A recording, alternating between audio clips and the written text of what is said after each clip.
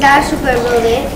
Es una película que trata de un niño que se llama Anton, que tiene dos años, 10 años. 10 años, y, en- y sueña con tener un hermano mayor, ya que el suyo, Buller, es autista. Eh, un día mm, reciben un regalo que convierte a su hermano mayor en un superhermano. Pero no le duran mucho tiempo esos poderes, podrán contenerlos. La recomiendo porque me ha gustado mucho. Es una película muy divertida y es, es muy bonita para ver en familia porque bueno, trata de valores y es en otra sociedad. Es una película de aventuras, de ciencia ficción que mezcla un poco pues todas estas cosas, ¿no? Y yo también la recomiendo porque también me ha gustado mucho.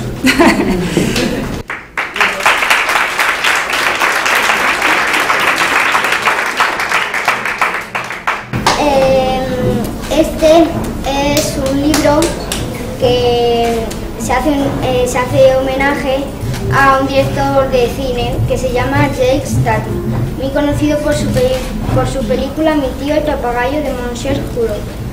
Es un libro sin texto porque no, no lo necesita, porque sus imágenes lo dicen todo.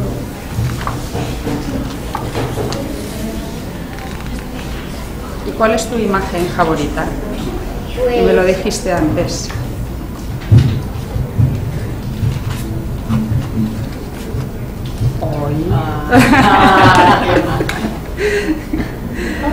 Es- ¿Y por qué es tu imagen favorita esta? Pues porque hace un efecto de que la Torre Eiffel está para atrás y él se apoya. Un efecto gráfico.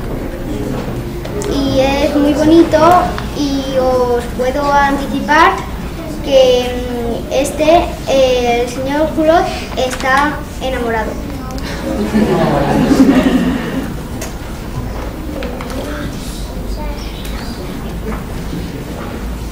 Muy bien.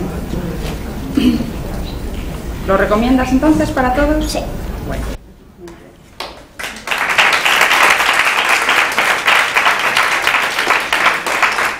Y ahora, en cambio, bueno, pues es otra vez una película. Hay veces que de, de las películas se hacen libros y en ocasiones, en este caso de un cómic, pues se han hecho varias películas. Esta es la tercera película de Batman, que posiblemente conoceréis al personaje, por supuesto, todos, y los que somos más mayorcitos sobre todo, y esta es la tercera película en la que bueno, Batman regresa después de, de pasar al lado oscuro y demás.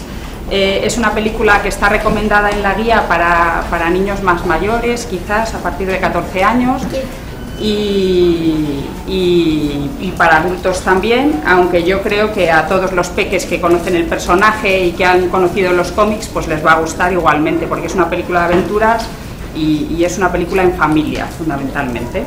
¿Vale?